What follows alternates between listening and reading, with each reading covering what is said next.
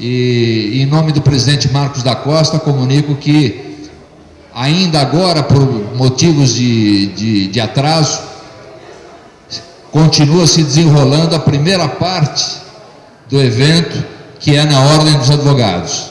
Continuaremos aqui esta segunda parte e em seguida os advogados que ali estão se juntarão a todos nós.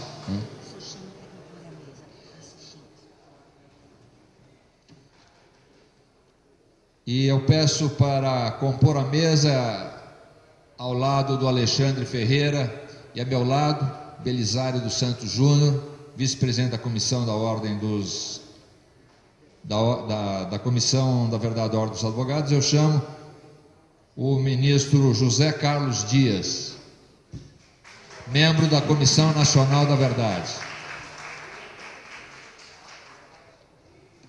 Peço que também venha compor a mesa o deputado estadual Adriano Diogo, presidente da Comissão da Verdade, Rubens Paiva, da Assembleia Legislativa do Estado de São Paulo.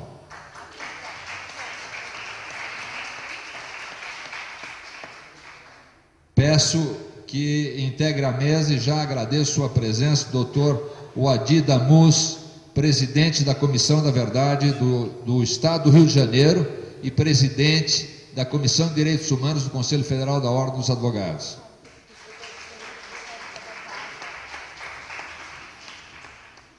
Peço que venha integrar a mesa um membro da Comissão da Verdade da Ordem dos Advogados do Brasil, padrão de advogado, doutor Edibal Piveta.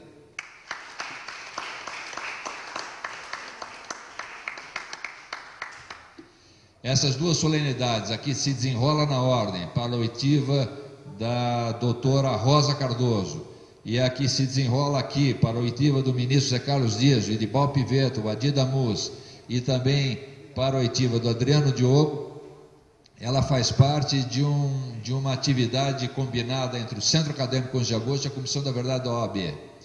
A ideia era é, usar a semana jurídica do 11 de agosto e acrescentar depoimentos de advogados importantes e de pessoas que, ainda que não sejam advogados, prestaram notável serviço aos direitos humanos no, na época do combate à ditadura e também na, nesta época de recuperação da memória histórica, da verdade, sempre rumo à justiça.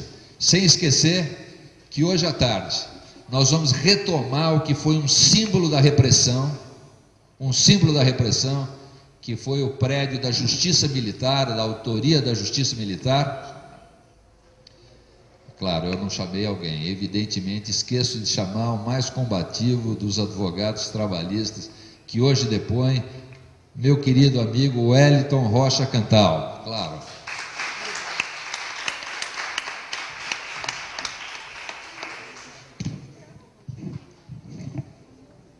Bom, muito bem.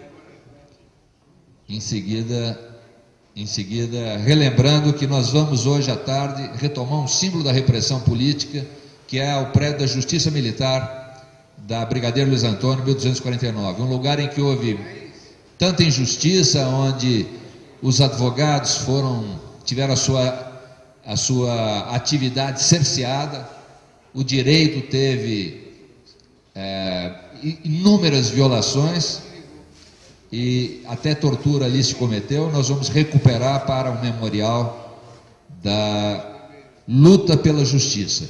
Então, hoje, esse é uma parte desse, desse dia histórico. Eu vou pedir. Há uma ordem estabelecida?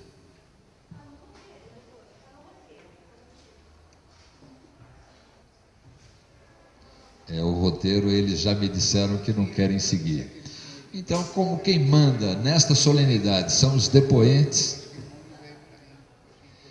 eu vou abrir uma solenidade de advogados e de estudantes do direito. Nós vamos chamar, em primeiro lugar, dando primazia, o único membro que não é advogado, que é o ilustre deputado Adriano Diogo, um dos autores da ideia da tomada da justiça militar. Então, deputado Adriano Diogo, você que está fazendo um trabalho excelente, sempre fez um trabalho excelente como, como, como deputado, né, um deputado das causas populares, um secretário do Verde que dignificou São Paulo e hoje faz um trabalho excelente na Comissão da Verdade Estadual. Por favor, vai ter a palavra em primeiro lugar.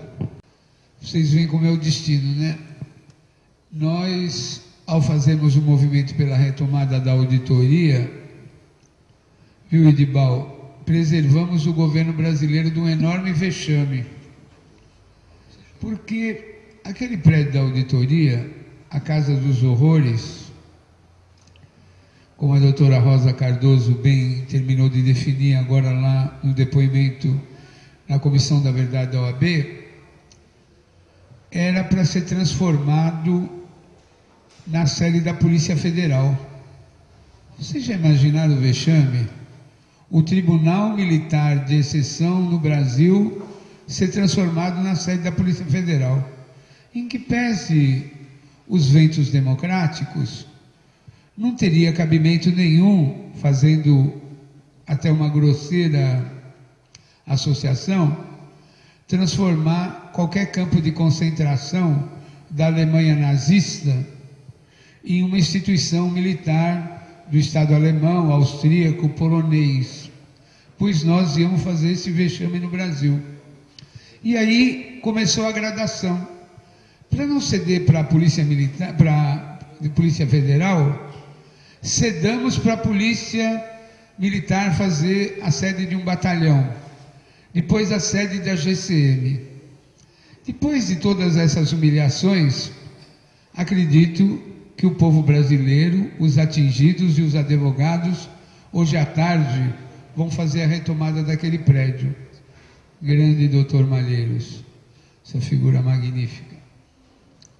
Eu não sou anfitrião o, mas não posso deixar de cumprimentá-lo por tudo que o senhor representa. Bom, para concluir, essa semana tivemos o julgamento do Carandiru. No Brasil é sempre assim. O mandante, a cadeia de comando, quem deu a ordem para o massacre, ficou absolutamente preservado. Sequer foi indiciado. E ainda deu pitacos, palpites no julgamento, na análise. E o prédio do Carandiru, o que aconteceu com ele? Foi derrubado. Que vergonha, que vergonha. A auditoria, o prédio está numa situação dramática, mas pelo menos não foi derrubado. Acho que aquele lugar jamais deveria se chamar Parque da Juventude. Assim como o prédio da FEBEM, lá na Celso Garcia, não pode ser transformado em parque sem que a memória do que ocorreu lá possa.